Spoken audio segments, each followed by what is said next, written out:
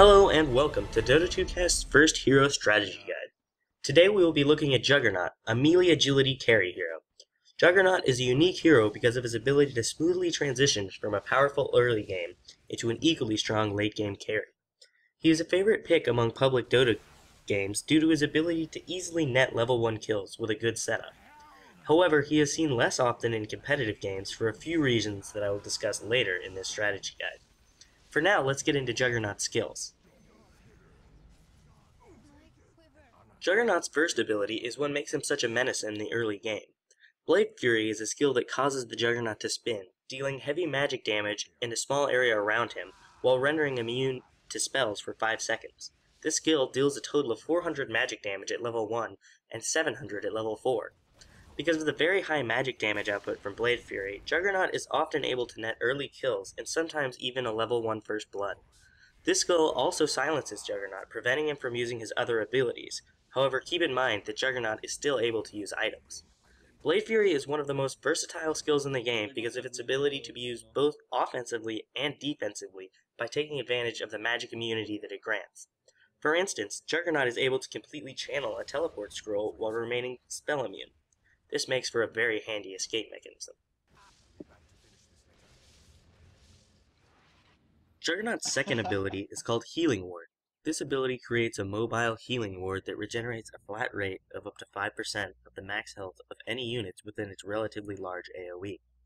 This skill, like Blade Fury, is very versatile.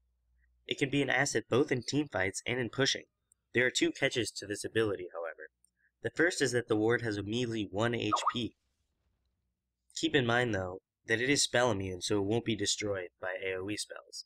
In addition to this, Juggernaut also has a somewhat limiting mana pool through the early and middle game, so this skill is often not taken until around level 10.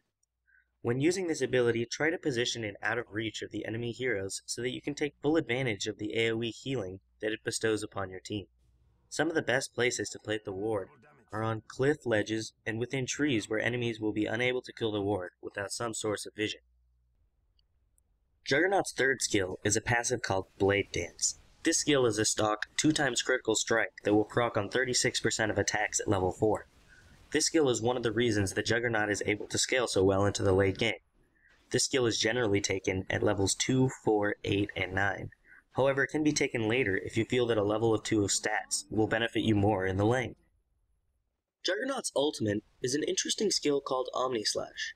This ability allows Juggernaut to jump to a nearby unit, becoming invulnerable and uncontrollable, while unleashing a series of slashes that deal between 150 and 250 physical damage each. This skill has a cast range of 450 and a search range of 425 units. Only the first strike of the skill is controllable. After the first strike, Juggernaut will perform his next attack on a random unit within the skill's search range. Because of this, the skill is most effective when targeting a lone hero. This way, all of the slashes will be concentrated on that hero.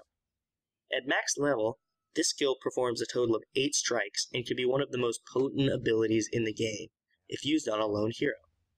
Additionally, the duration of this skill at max level is about 3 seconds, and Juggernaut is able to perform auto attacks between slashes of his ultimates. Now that I have introduced the Juggernaut and his abilities, let's go over what items you should purchase and where you should go at the start of the game. Juggernaut is almost always played in the team's short lane with at least one other hero. Generally, you want your lane partner to be a ranged hero that requires little farm since you will be requiring most of it for your rather expensive item build. Some good examples are Crystal Maiden, Lion, Shadow Shaman, Lich, Lina, and Witch Doctor. Juggernaut can also be played in a tri-lane with at least one of the aforementioned heroes in conjunction with another hero that has a stunning ability.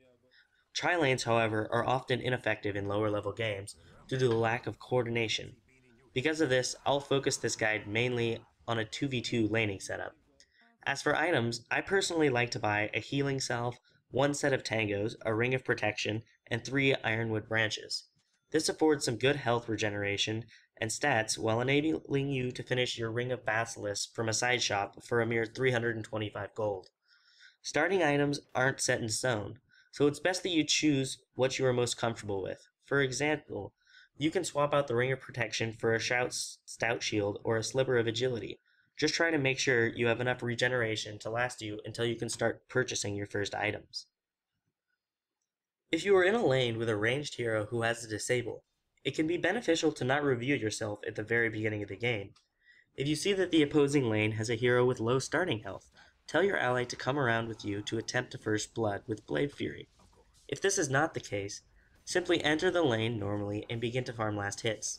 If you are facing one or more ranged opponents, you will only want to be approaching the creeps to place last hits or denies, since Juggernaut is melee and relatively fragile. If you're having a hard time, in the case of a dual ranged enemy lane, it's often helpful to instruct your lane mate to deny creeps starting from half health, so that the creep equilibrium is pulled as close to your tower as possible. Additionally, you can pull and stack creeps if you're in the short lane. As the laning phase progresses, try to capitalize on any missteps that your opponents make so that you can net a kill. When you hit level 6, your threat level is at its maximum. With up to 750 physical damage from your ultimate and around 600 magic damage from your spin, you have the damage output to take down almost any lone hero at this stage in the game. The limiting factor on your damage, though, is your mana. At level 6, this combo requires 310 mana, and at this point, if you bought 3 Ironwood branches, you will have just enough mana to cast this if you are at full mana. A strategy that I use is that I position myself near the creep wave where there are only one or two creeps remaining. I will advance towards the enemy hero. If they fear your spin, they will run away from the creeps to their tower. At this point, you should initiate with your ultimate and follow up with spin. If they choose to come towards you so that they are protected by their own creeps from your ultimate, initiate with spin and follow up your ult with your ultimate instead. Often you can net an easy kill at level 6 using this tactic. Once you have a bit of gold from last hits, and maybe even a hero kill or two, you should begin to work towards your core items. Ring of Health is often purchased early in the game from the side shop once a regeneration runs out, to prevent losing out on golden experience from running back to the fountain. When it comes to boots, Juggernaut has three viable choices. Phase boots, power treads, and boots of travel. Phase boots are my personal choice, because of the enhanced mobility phase gives to chase with, while also giving decent damage to improve your last hitting. When chasing with phase boots, make sure to always activate phase after you have already begun Blade Fury. If you do it the other way around, Blade Fury will dispel the phase effect. Boots of Travel can be taken if you happen to be farming extremely well and can utilize the ganking and farming abilities the Boots of Travel provides to you with Teleport. Additionally, Boots of Travel always ensure that you will have a strong escape mechanism when used in conjunction with Blade Fury's spell immunity. Power treads are often the boot of choice when it comes to carries.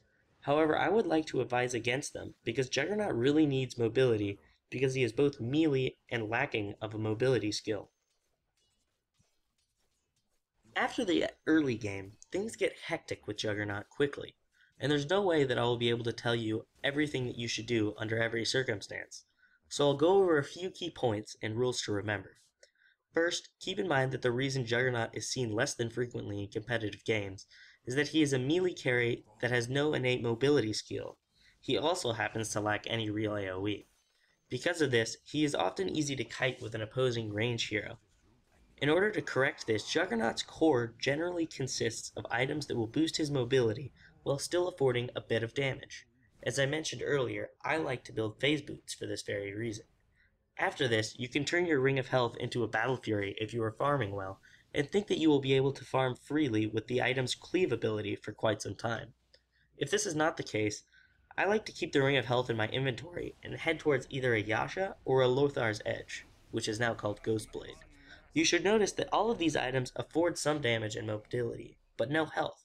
And because of this, if I still have my Ring of Health, I'll often just turn it into a Vanguard for some much needed survivability. Keep in mind, this isn't the only way to build Juggernaut, it is simply one way to build him that allows his skills to be easily positioned and utilized while dealing with one of his biggest problems, being kited. During the mid-game, you should try to use your ultimate whenever it's available while assisting your teammates with pushing and killing opposing heroes. When it's on cooldown, or when you think your team will benefit more from you farming, try to last hit creeps or farm stacked neutrals with your spin. During teamfights, you should use your healing ward as soon as possible, so that your team will benefit the most from its effects over the entire fight. Then, try to use your spin wisely, since you will only generally be able to use it once per fight. Try to use it at a time when your opponents are using most of their AoE abilities, so that you can avoid as much damage as possible. After your spin ends, you can continue to auto attack your opponent or finish with your ultimate if you still have enough mana. When the mid game starts to fade into the late game, there are a variety of items that are all viable. Sange and Yasha, Butterfly, BKB, MKB, and just generally any agility carry items. You should choose from these items based on circumstance. As for your orb, both Lifesteal or Desolator work fine. Desolator enhances your ultimate's physical damage, and Lifesteal gives you a decent amount of survivability when it's combined with your high damage and critical strike. As late game fights begin to occur, your physical damage output will become much more powerful than your spin damage, so it is generally wise to spin only defensively to dodge AoE skills and targetable stuns. I have often seen people spin offensively late game and deal less damage than they would have by simply right clicking their opponents, resulting in lost teamfights and even games. Because of this, it can often be wise to grab a BKB in the very late game so that you won't be kited as easily with pesky stunts and slows, while still being able to auto attack. That just about wraps up the gameplay section of this guide. Now I will go over a few cool things about Juggernaut and tips for advancing your gameplay. First off, I included Shadow Blade in my core items because you can actually activate the item and become invisible while you are spinning. This allows you to retain your AoE damage and spell immunity while also being invisible for the duration of the spin. This makes it even more difficult for opponents to juke you. Another effective thing to do with Juggernaut is jungling. Jungling is an effective way to farm, both because you can easily kill neutral creeps with spin and auto attacks, but also because enemy heroes passing by the jungle to move between lanes are often alone and can be easily killed with your ultimate. One last tip is don't be under aggressive. Early in the game, when you have enormous damage from spinning your ultimate, don't forget that these skills both have defensive components. You are often much more durable than you think, between the spell immunity and momentary invulnerability. Thank you for watching our Juggernaut Hero Guide. This is WSLK telling you to rate, comment, and subscribe. Toodles!